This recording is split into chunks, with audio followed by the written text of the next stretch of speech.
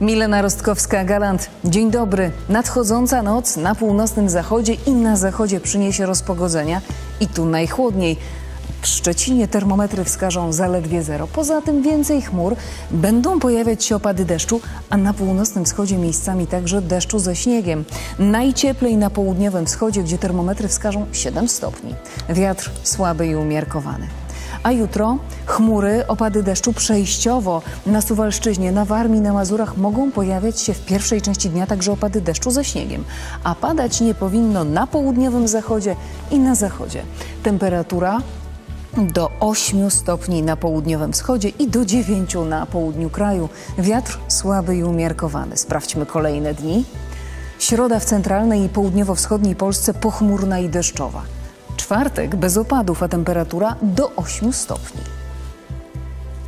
A już teraz sprawdzamy jakość powietrza. Tak prezentowała się o poranku. Nie wyglądało to idealnie, dużo żółtego koloru, a tak raport smogowy wygląda w tym momencie. Więcej informacji znajdą Państwo w aplikacji Pogoda Interia. Teraz to wszystko. Do zobaczenia.